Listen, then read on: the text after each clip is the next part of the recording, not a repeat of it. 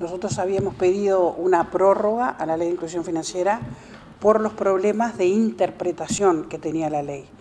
Eh, aún hoy no, se han, no han sido zanjeados todos los temas que tiene o los problemas de interpretación.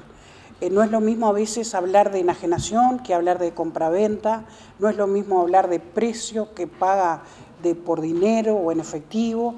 O sea que hay una cantidad de términos jurídicos y técnicos que en el equipo eh, económico eh, no se ha puesto de acuerdo con la academia.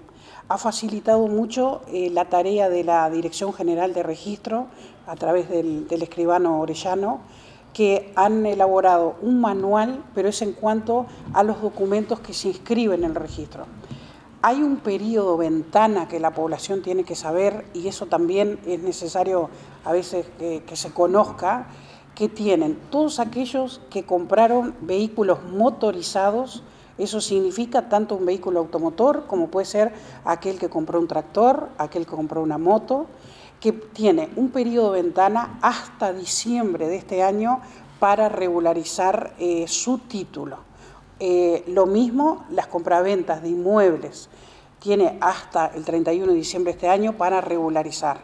Yo diría que todos aquellos que adquirieron bienes antes del primero de abril, que concurran a su escribano para que el escribano le estudie los títulos de, propiedad o las promesas que vienen pagando mes a mes, porque se pueden quedar con una gran sorpresa después del, 31 de diciembre de este año, cuando de repente ya no puedan regularizar el título.